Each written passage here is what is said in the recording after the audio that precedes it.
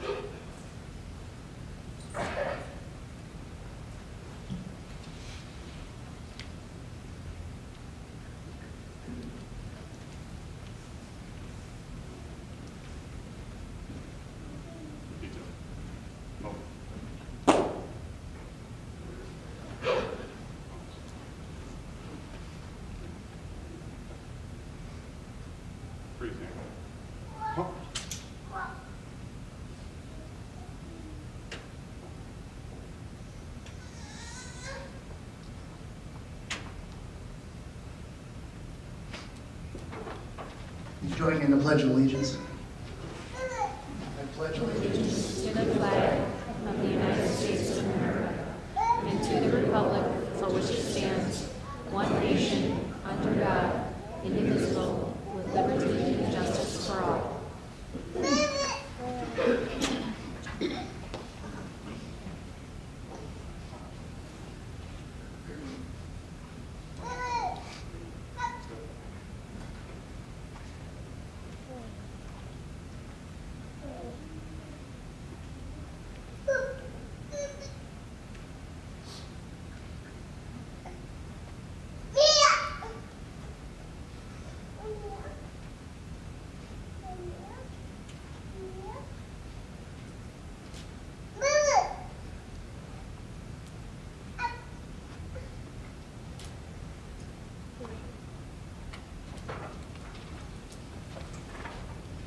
All right, you may be seated. Thank you. Thank you to the Honor Guard. Um, always in step. I haven't seen a lot of stuff yet. Um, appreciate all the work that they do. Uh, welcome to our 2021 honor ceremony. Uh, finally, after a couple years, we get to get together in person. It's starting to feel a little more normal. Um, great to see everyone here. We've got a lot of awards to give out tonight, uh, two years worth of awards. Uh, so we know it's going to be a long night. We're going to try to keep things running uh, pretty smoothly and quickly. A lot of kids here. I love seeing the little kids. Uh, we're going to keep the food coming. You got to get them busy, keep them busy uh, with, with that. That's fine. Um, you got to get up and take them outside. Obviously, do what you have to do because it's probably going to be a few hours, and we're not going to take a break. So we'll just keep running through. I want to recognize the sponsor for our event, First Country Financial. Country Financial actually is paying for everything. Uh, they've sponsored uh, this event.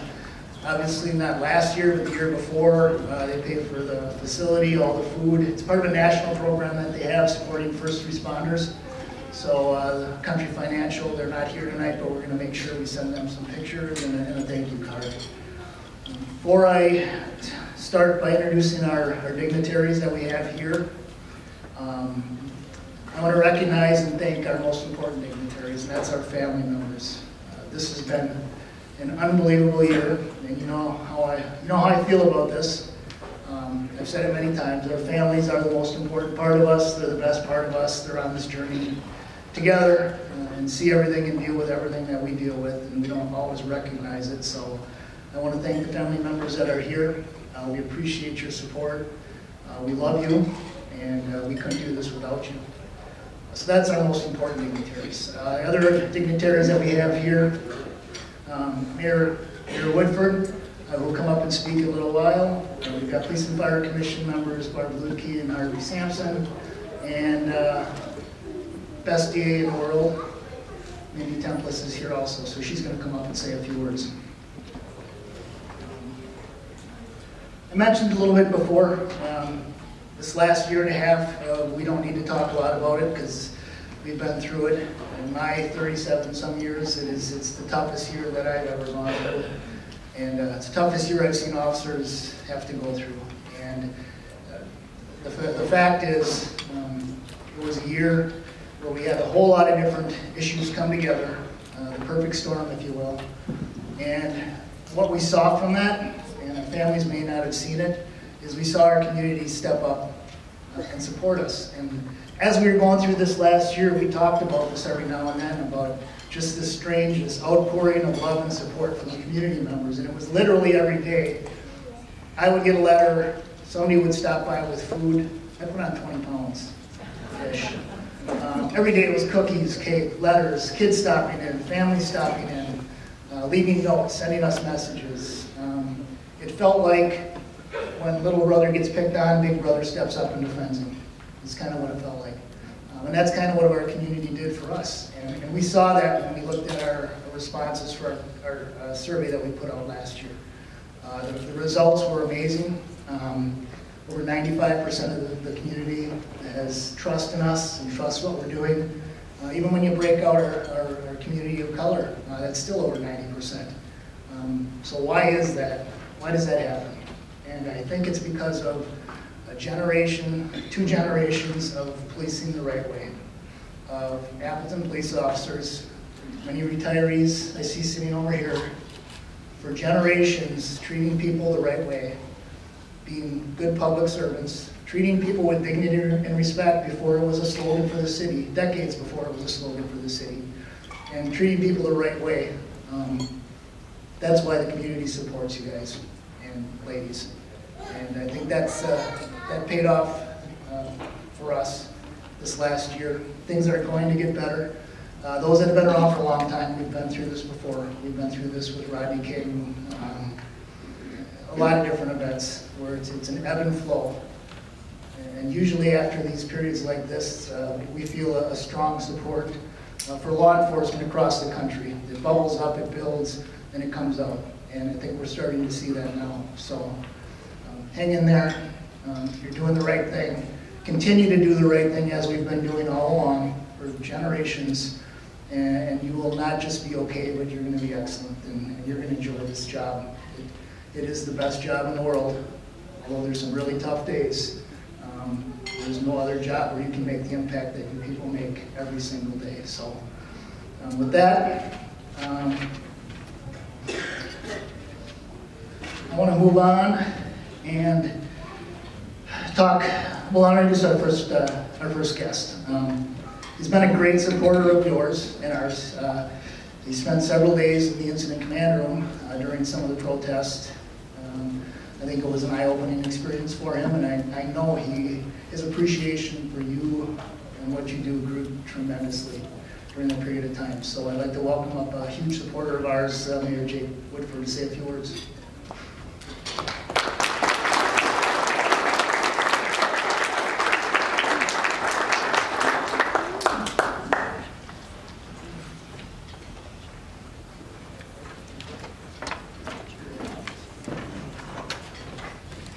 Thank you, Chief. Uh, First of all, I just want to start off by saying how good it is to be in the same room as all of you. Um, You know, I've met many of you over, uh, over Teams uh, after I got started, and uh, it's just not the same, so it's good to, good to be in the same room with everybody. Um, You know, we, when I got started, we had to get to know each other uh, in in a hurry. I was just reminiscing about the, the cruising event that happened uh, last year. Uh, It's about three weeks in office, and I got down to my office, and uh, after getting calls from alders and members of the community who were concerned about what was going on, I got downtown, and I looked at it and I thought, oh my gosh, what, what have I gotten myself into? This is crazy. Uh, And little did I know what, as a community and as a country, we'd be facing in the, in the months to come.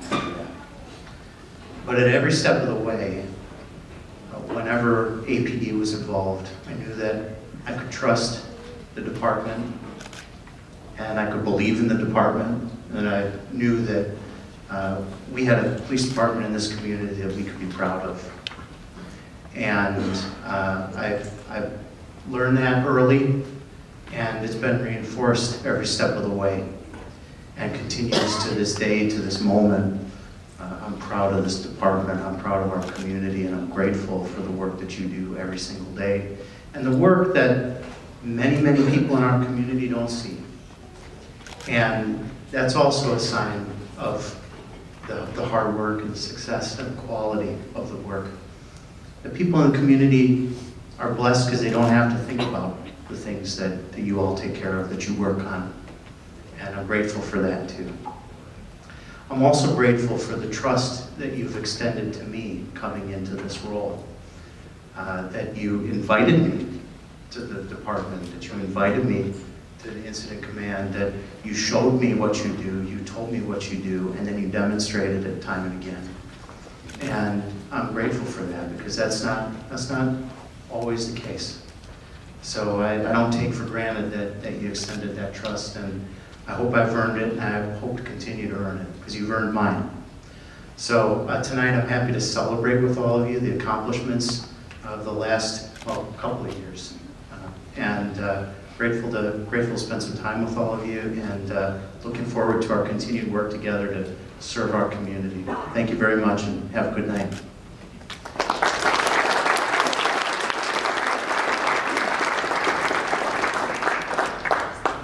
You've uh, definitely earned our trust, Mayor. All your work is appreciated.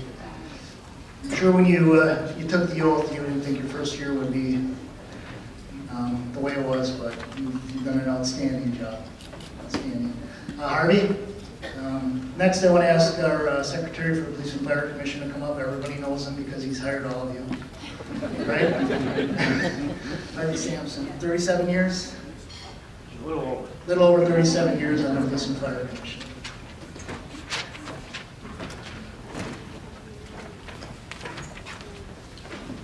Thank you, Chief, Mr. Mayor. Ooh, big group. I agree with the mayor. It's really nice to be with people. And this is really the first time for me since uh, March of 2020 that I've been with more than about four people. Uh, As the chief said, my name is Harvey Sampson. I'm the secretary of the commission. It's been my honor to be a member of the commission for 37 and a half years. Um, Many of you have seen me more than once. I hope it's not been a bad experience. The Police and Fire Commission represents the citizens of the city of Appleton when it comes to personal personnel matters concerning public protection. The political arm, Mr. Mayor, of city government cannot control those areas reserved by Wisconsin statutes to the commission. Uh, Tonight, uh, Barb Lutke, Barb, stand up, please, who is currently the second longest serving member, I think 27 or 28 years is with us. Uh, Our chair, Pam DeLeast, couldn't make it uh, back from a meeting. Rudy Nyman, who I think all of you fondly remember. That's supposed to be a joke. Uh, He's my boss, laugh. Has been, has been, uh, was sick over the weekend and couldn't make it. And Ernesto Gonzalez, our newest member, had work uh, requirements, so he could not make it. Our commission takes great pride in the officers and firefighters that serve the city of Appleton, the citizens and the visitors to our city. We are committed to providing the most capable and best candidates not only to provide direct public service, but also to lead and supervise the departments. All of our police officers, from the chief to our new- newest sworn officer and all of our civilian personnel, seek to fulfill the mission statement and adhere to the core values of the Appleton Police Department. Because our command staff and officers maintain the highest standards in policing, we have what is considered one of the finest police departments not only in Wisconsin, but in the entire country. Last year, as the chief said, he has been trying for all of us, but more so for our dedicated first responders, police officers, firefighters, paramedics, and other medical personnel. You have all gone above and beyond the call of duty. The members of the Police and Fire Commission are honored to play a part in maintaining the highest standards and integrity of this superior department. Larry, on behalf of the commission, we want to thank Assistant Chief Larry Potter, who is retiring uh, Friday, tomorrow, for his nearly 30 years of service to the citizens of Appleton and the Appleton Police Department. During his time as a CSO and sworn officer, Larry has maintained his and the department's highest standards and integrity. We wish Larry and Chris well in their next adventure. Lastly, I would like to thank the APD family for their support over the last two years personally. Uh, as most of you know, I've been dealing with significant health problems and I have about 100 how many of you? 13? 113 people watching constantly, plus 90 some at the fire department. And, and my wife and I and the rest of our family appreciate it. On behalf of the commission, thank you to all those who so selflessly serve the city of Appleton and congratulations to all of tonight's honorees, both sworn and civilian. Thank you.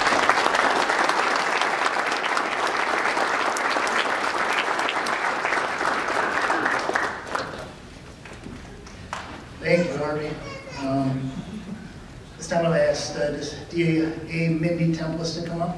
Um, Mindy has been a uh, outstanding supporter of ours, uh, has worked with us through a lot of huge cases, uh, significant incidents that have affected our personnel, always done her job professionally, um, to the top level, but also doing it with care and concern for all of our employees. So we- we appreciate everything you do for us, Mindy.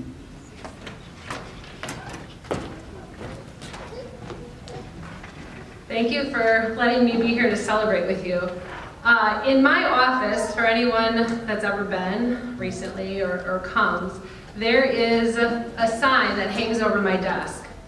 And it says, the credit belongs to the man who is actually in the arena, whose face is marred by dust and sweat and blood, who strives valiantly, who spends himself in a worthy cause, who at the best knows in the end the triumph of high achievement and who at the worst, if he fails, at least fails while daring greatly, so that his place shall never, shall never be with those cold and timid souls that know, never know victory nor defeat by President Roosevelt.